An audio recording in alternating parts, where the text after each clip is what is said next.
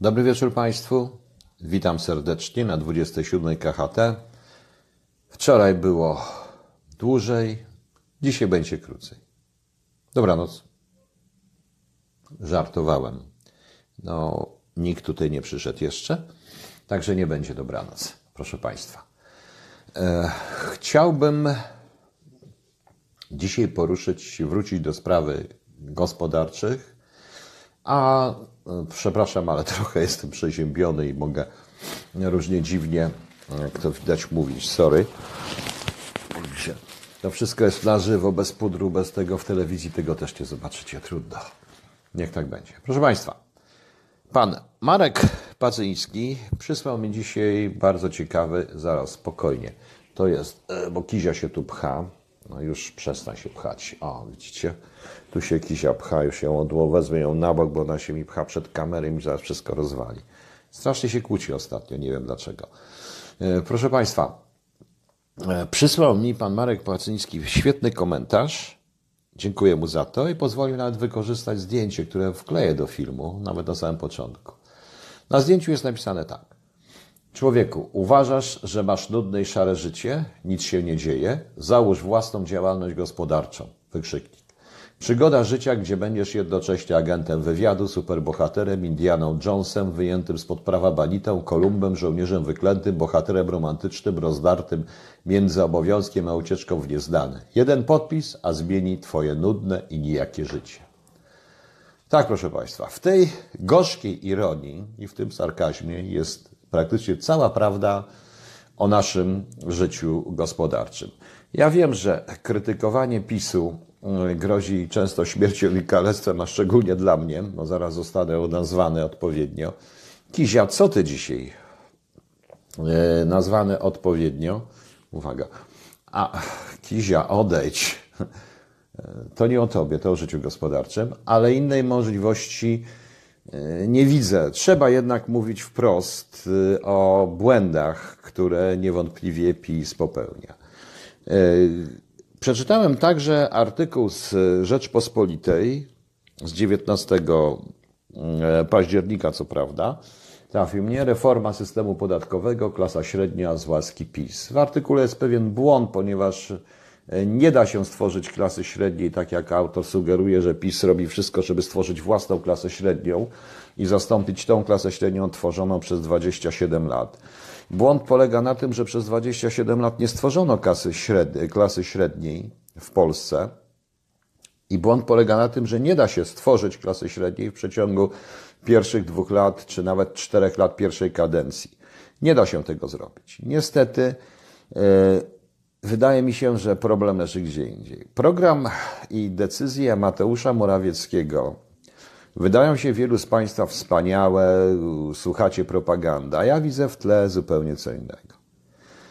Widzę w tle na przykład i słyszę w komentarzach, czytam to w komentarzach i czytam to w telewizji, widzę to w telewizji, proszę Państwa, yy, szczególnie publicznej, coraz większe, większą niechęć do ludzi, którzy czegoś się dorobili, mają więcej, więcej zarabiają, gdzie zaczyna się to, co pamiętam ze studiów z lat 70., że słowa prywaciarz, badylarz są słowami, mają znaczenie pejoratywne i są praktycznie synonimami oszusta. I tak, to, I tak też jest, proszę Państwa.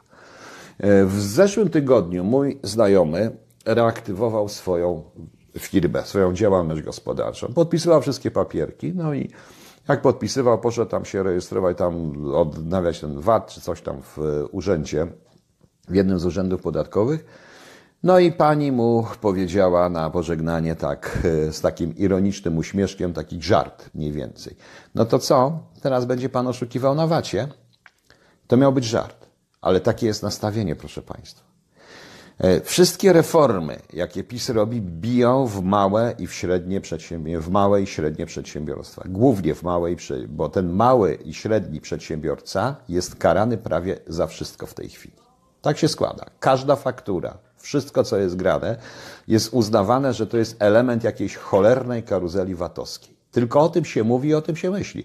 To jest przerażające. Proszę Państwa, to zmusza również ludzi do oszustwa. Mam, znam również przypadek e, człowieka, dwa takie Wam przypadki, to są konkretne przypadki z ostatnich dni.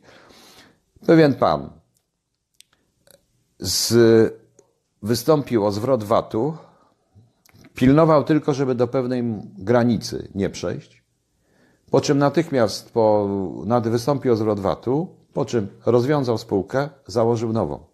Dlatego, że wie, że jak przekroczy pewną granicę, natychmiast, natychmiast zostanie wszczęta przeciwko niemu kontrola, która nic nie udowodni, ale go wykończy. I następny przypadek. Był, znam pewnego przedsiębiorcę, był pewien przedsiębiorca, był, zaraz powiem dlaczego był, który też miał małe zwroty VAT-u. On nie eksportował, a to wiadomo, przy działalności gospodarczej są jakieś zwroty i on nie odbierał tych zwrotów VAT-u przez jakiś rok, półtora roku. Kumulowało mu się to, aż mu to tam weszło gdzieś w okolicach 300-400 tysięcy złotych. I nadal nie chciał tego odbierać. I co? No i wszczęto kontrolę, dlaczego on nie odbiera zwrotu VAT-u. Kontrola trwała rok. Po roku firmy nie ma i faceta nie ma, on VAT-u i tak nie dostał. Kontrola wyszła dobrze, jego już nie ma. E, po kontroli był jeszcze okres pokontrolny, więc zwrot został zatrzymany, ponieważ musi być kontrola kontroli, jakieś różne rzeczy. To są, proszę Państwa, rzeczy paranoiczne i tak się w Polsce dzieje. Teraz wszyscy mówią o wynagrodzeniach. Wszyscy jesteśmy, proszę Państwa, e, niestety, znowu, znowu nastawiani negatywnie dla tych, którzy zarabiają więcej, traktując ich jako w ogóle bandytów, nomenklatury i tak dalej. Proszę Państwa, Przyzwyczajeni zostaliśmy i jesteśmy przyzwyczajeni do pensji, mówiąc pomiędzy 2,5 a 3,5 tysiąca złotych na rękę. W takiej sytuacji podwyżka 100 czy 200 jest dużo. Kochamy rząd, prawda? To się zwiększa. Już nie zarabiamy po 1700, po 2, ale 2,5, 3,5, 4,5, prawda? Natomiast każdy, kto zarabia więcej, musi być od razu złodziejem i bandytą.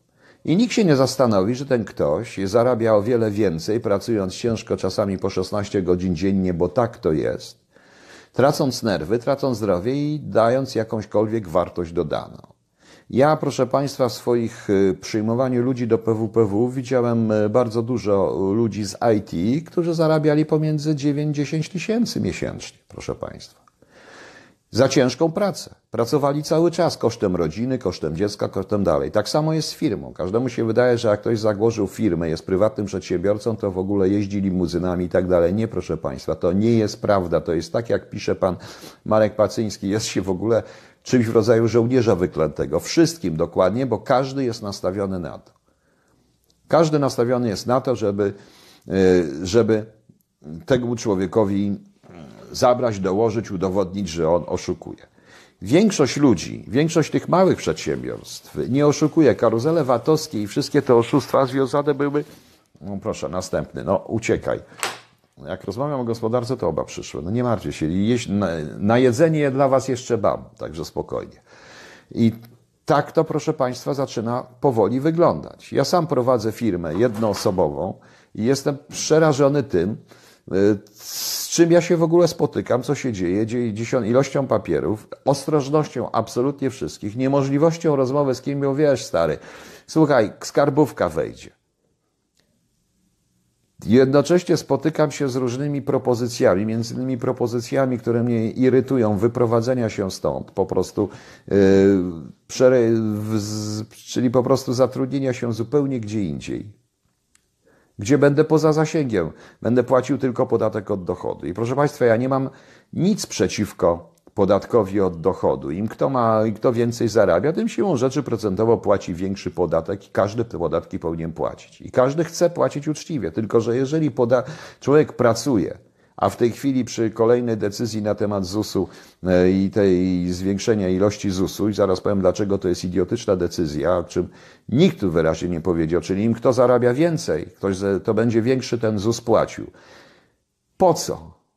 Po co, proszę Państwa, skoro i tak emeryturę będzie miał na poziomie ściemy, zwanej emeryturą obywatelską, o czym ja też zrobię jeszcze program, bo takiego oszustwa jeszcze w życiu nie widziałem jak emerytura obywatelska i powoływanie się na Zachód. Jest to zupełnie inaczej, proszę Państwa.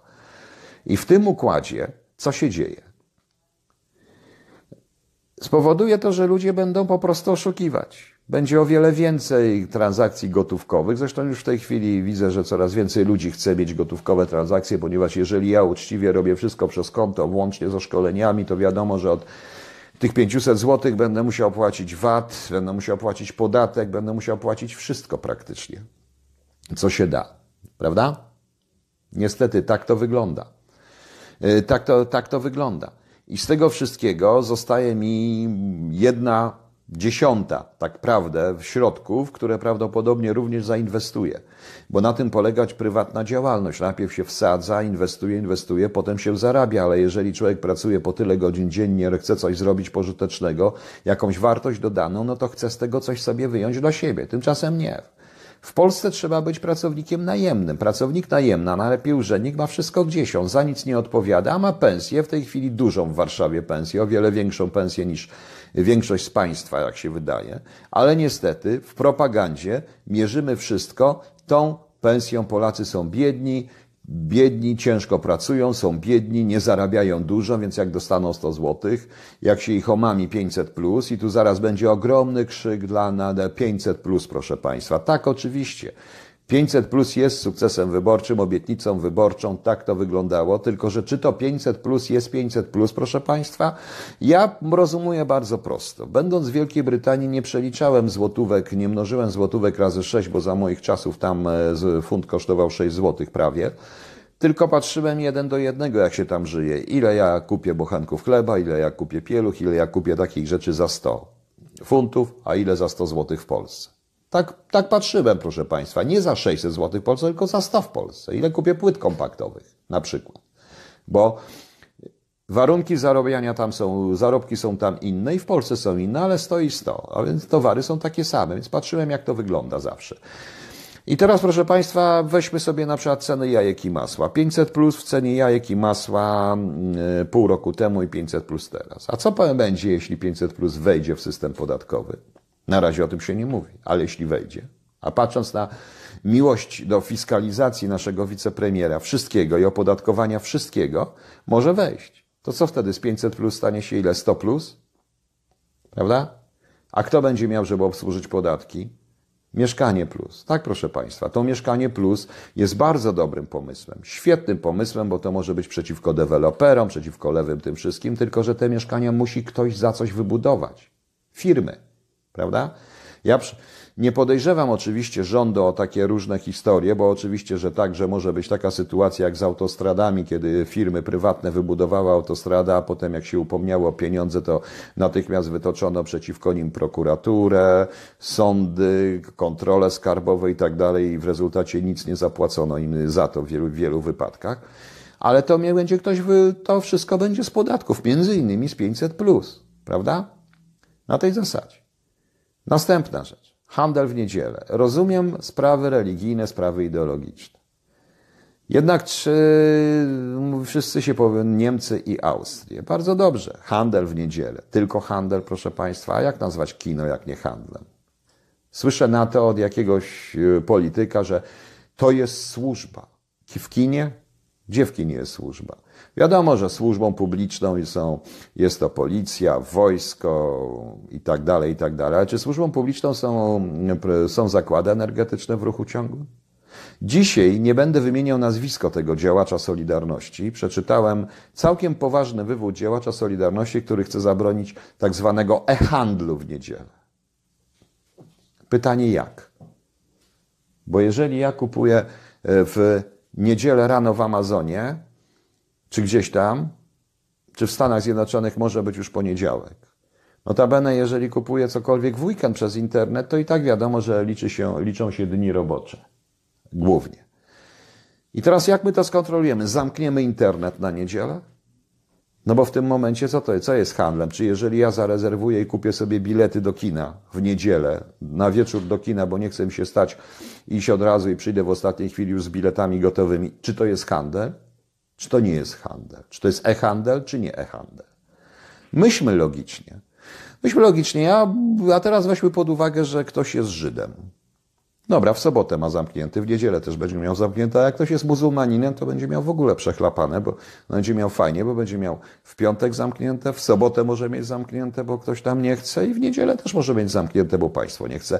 Ja trochę kpię w tej chwili, ale to nie jest problem. To nie jest problem. Problem jest, o którym Solidarność nawet nie pomyślała.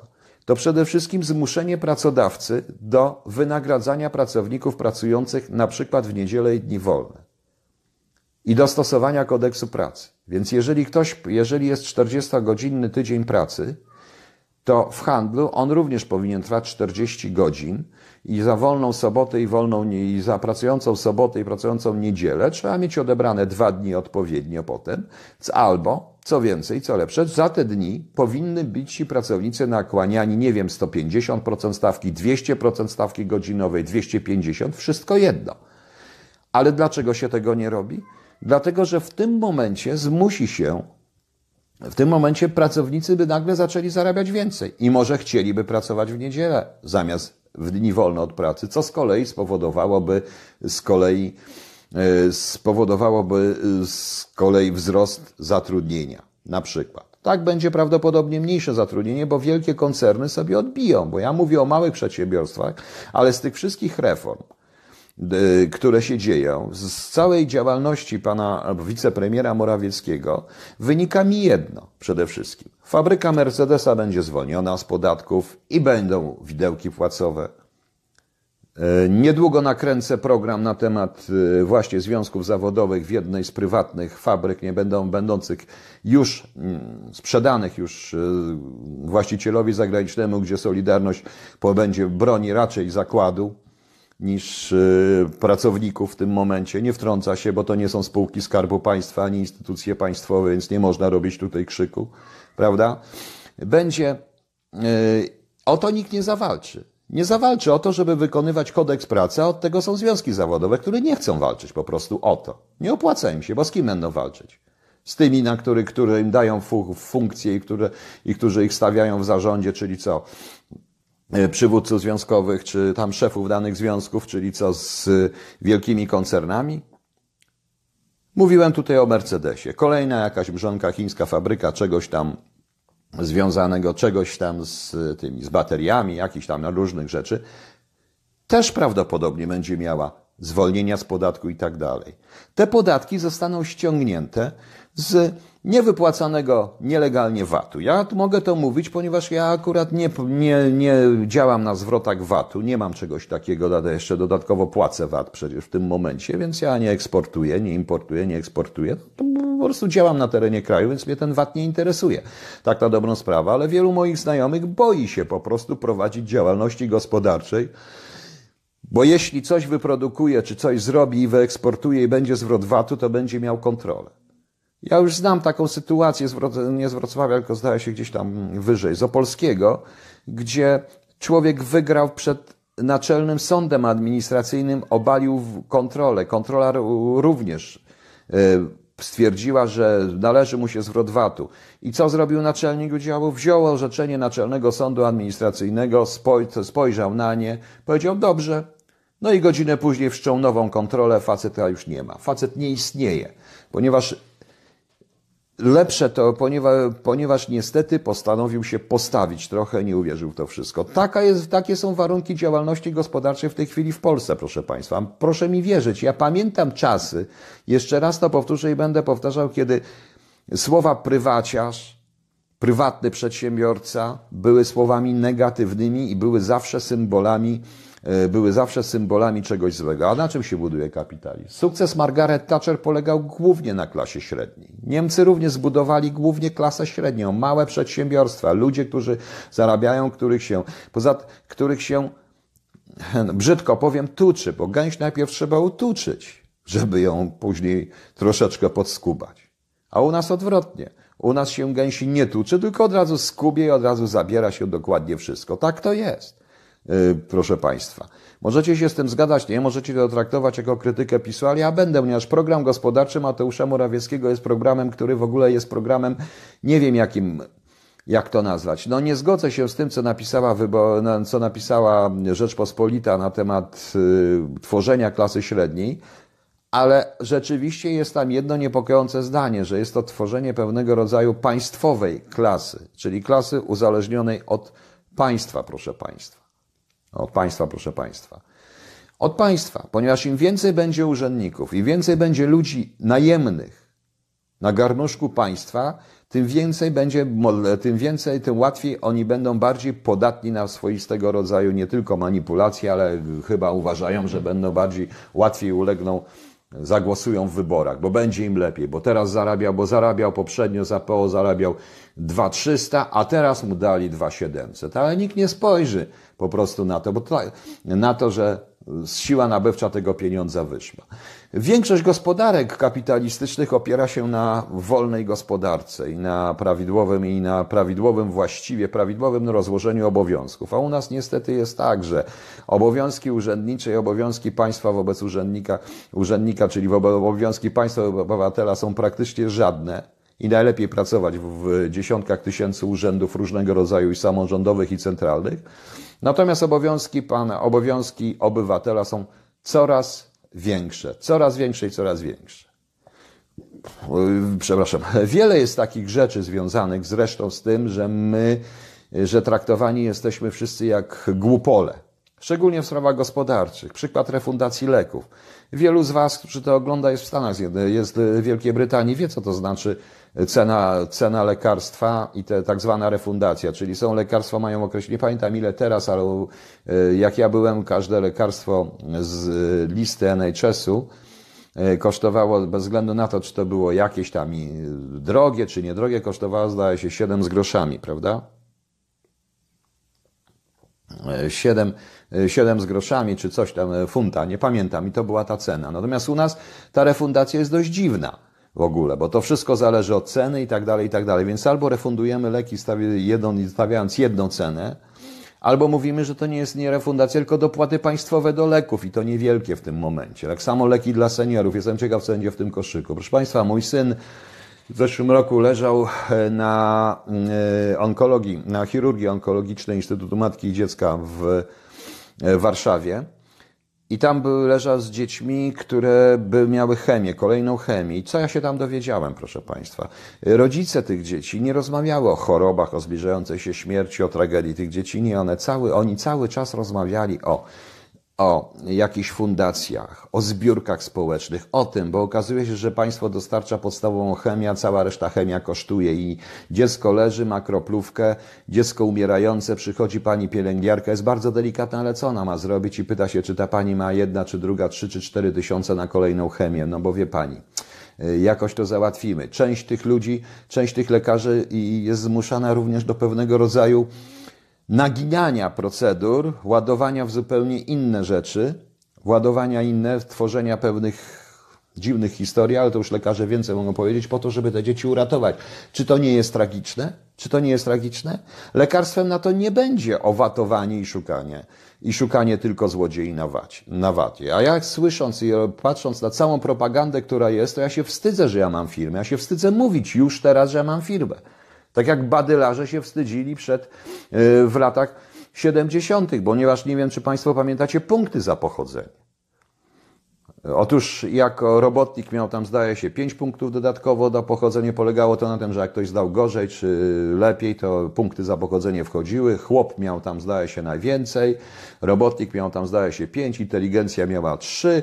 No a jeszcze byli tak zwani badylarze i inni tacy, którzy, czyli, czyli ci wszyscy prywatni, którzy mieli zero. No i bardzo często oni się rejestrowali jako rolnicy. Ja pamiętam ten, ten kpiący ten kpiący taki tego, o proszę, co to z niego za rolnik, 7 hektarów pod szkłem. Nikt, nikt nie patrzył, że ci ludzie bardzo ciężko pracują na te swoje pieniądze, a cały czas mieli domiary, izby skarbowe i tak dalej. I ja tak się czuję w tej chwili dzisiaj. I na przykład ten program, jak zostanie ktoś obejrzany, natychmiast prawdopodobnie ktoś się tutaj wszczepi, o proszę, znowu, no wiadomo, zdając jego życiorys wali w PiS. Tak, proszę Państwa, wale. Wale w tym momencie, bo to, co ja mówię, mówię to z prawicowych pozycji zupełnie i to nie jest moje zdanie. Ja przebywam w środowisku dość y, mocno prawicowych ludzi, narodowców, różnego, wszyscy patriotów i tak dalej. U mnie nie ma kodu czy innych ludzi, czy innych nowoczesnych, ale wszyscy mówią to samo. Jest to wybór przed mordorem korporacyjnym europejskim a mordorem państwowym, proszę Państwa, czyli tu między dżumą a cholerem, jak to mówię, w sferze gospodarczej oczywiście. PiS popełni błąd, jeżeli do tego nie poprawi, jeżeli nie odpuści, tym bardziej, że, a chyba nie odpuści, bo zdaje się, że trzy tygodnie temu wicepremier Gowin powiedział, że no cóż, musimy zwalczyć wszystkie patologie VAT-owskie, natomiast nie możemy, no i trudno, małym przedsiębiorcom będzie ciężko, ale muszą przetrwać. Ci, co przetrwają, będą mieli lepiej. Jak może wicepremier coś takiego powiedzieć w tym momencie. Wicepremier rządu, który powinien dbać właśnie o małych przedsiębiorców, bo mali przedsiębiorstwa, małe przedsiębiorstwa stanowią o sile państwa, nie wielkie koncerny. To więc co, wchodzimy znowu w wielkie koncerny? Tylko, że zamiast e, flagi Unii Europejskiej będą miały orła i polską flagę, bo wielkie koncerny szybko potrafią to zmienić i przebudować sobie po prostu, a liczą tylko kasę i liczą tylko pieniądze. Prawda? Tak to, proszę Państwa, wygląda.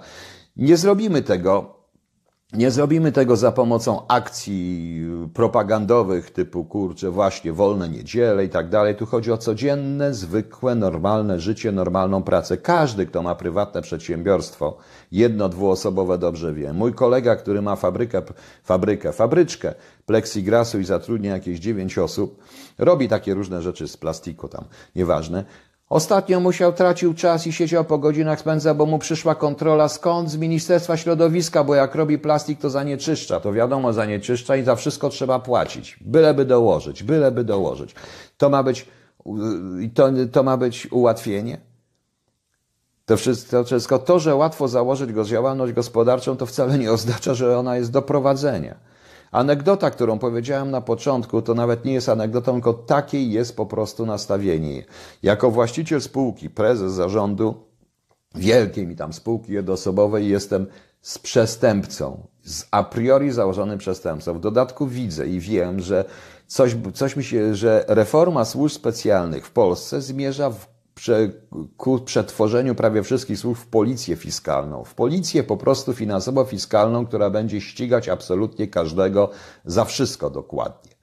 Za wszystko dokładnie, że wszystkie decyzje o tych, o tych fakturach wysyłanych gdzieś tam wzmoże zatrudnienie, kolejne zatrudnienie urzędników i wszyscy się w tym pogubią. I wszyscy się w tym pogubią i w końcu będzie tak, jak to jest w tej chwili w służbach specjalnych, że na jednego oficera operacyjnego przypada co najmniej 10 czy 20 urzędników.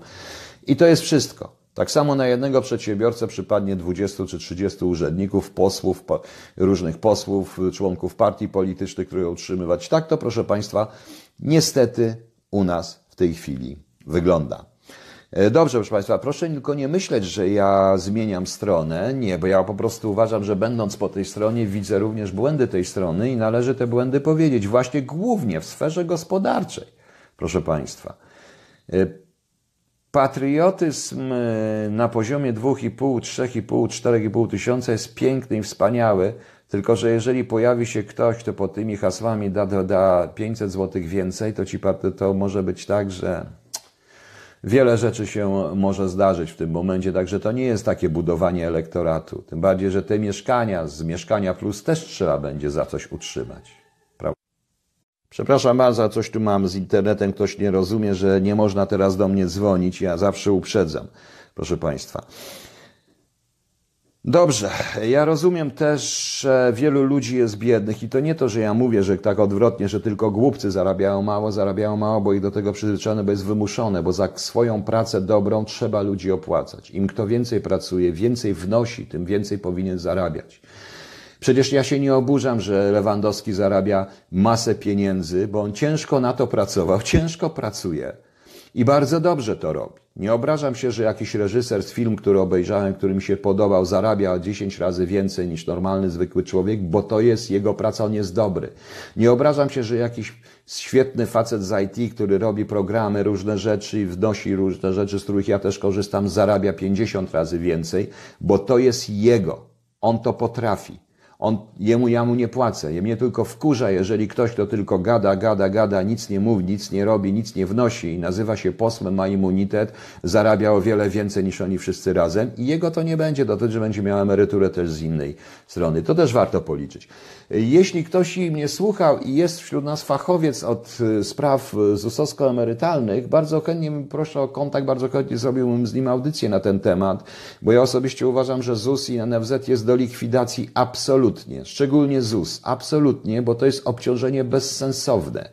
Że, że trzeba stworzyć systemy i fundusze emerytalne, które potrafiły, potrafiłyby po prostu uciągnąć. To emerytura socjalna czy emerytura obywatelska byłaby po określonym roku życia dla gospodyń domowych, czy dla bezdomnych, czy tym, tak jak to było na przykład w, w Stanach Zjednoczonych, jak Panam Polo Kirby zbankrutował, kiedy prawie 17, no więcej niż 17 tysięcy osób zostało bez emerytur, bo Panam e, zbankrutował po prostu i państwo przejęło płacąc te tak zwane emerytury socjalne, emerytury obywatelskie, bo to tak wygląda, proszę Państwa, na Zachodzie. Więc jeśli chcemy Zachodu, jeśli chcemy kapitalizmu, to twórzmy ten kapitalizm. Proszę Państwa, e, teraz poczekam, kto mi co pisze. E, chciałem zobaczyć, może, może na jakieś pytanie odpowiem, bo jestem ciekaw, czy już Państwo uważacie mnie, że do kodu poszedłem, czy nie uważacie, że nie. E, patriotyzmem nikt dzieci nie nakarmił, mieszkania plus to dla Ukraińców są, PiS trzeba naciskać o pamięć zmienienie przypisów są dla obywateli. No, Zgadza się. No, nowy pomysł to podatek od niezdrowego jedzenia i fast foodów. Polacy muszą być chudzi i tak samo muszą być chudy ich portfele.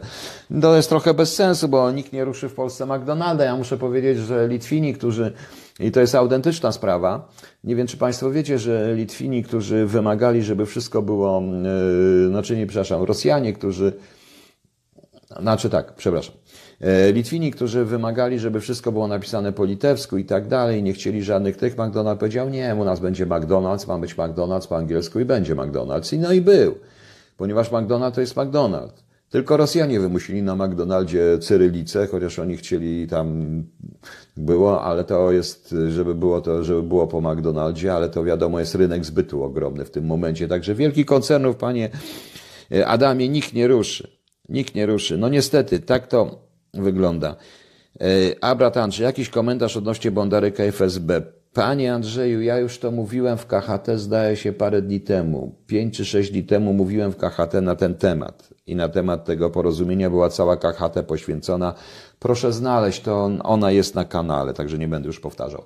Dobrze, proszę Państwa, przestaję już marudzić, ale tak mi się złożyło, bo właśnie się kończy rok, mnie spółka idzie bądź nie idzie, mam nadzieję zrobić tutaj to SWT TV jakoś rozwinąć. Może będziemy już niedługo nadawać na żywo ze studia i w ogóle ja będę nadawał na żywo na YouTubie od razu, więc będzie trochę lepsza jakość trochę lepiej, trochę szybciej. Także dziękuję. Mm, przepraszam, Stasiu, a koszerny McDonald's yy, w, pytanie jest, a koszerny McDonald's w Argentynie pan widział? Nie, natomiast w Tel Awiwie jest McDonald's ze świadectwem koszerności, proszę państwa. I pewien e, oprowadzający, byłem tam w delegacji, bardzo miły facet z Mossadu, e, powiedział mi, że się nie przejmował tym świadectwem koszerności, bo za tą sumę to nawet świnia będzie koszerna. Cytat. Autentycznie. Bardzo mi się to podobało. Bardzo mi się to podobało. Okej. Okay. Dziękuję Państwu bardzo. Dobranoc. Miejmy nadzieję, że będzie lepiej, bo PiS trzeba popierać, bo jak PiS upadnie, no to na, przyjdzie Mordor, a wtedy naprawdę żaden z małych na pewno nie przetrwa. A tutaj przynajmniej jeszcze mamy szansę, bo może w końcu w PiSie też zrozumieją, że yy, wszystko to się opiera na zwykłych, normalnych ludziach, a nie na tych, co mają, co jeżdżą w limuzynach z przyciemnionymi szybami. Dziękuję Państwu bardzo. Dobranoc. Przepraszam za przerwy. Postaram się te przerwy usunąć w czasie montażu, albo i nie usunę nawet. Zobaczymy, co będzie. Dziękuję. Przepraszam jeszcze raz za przerwy. No i dobranoc do jutra.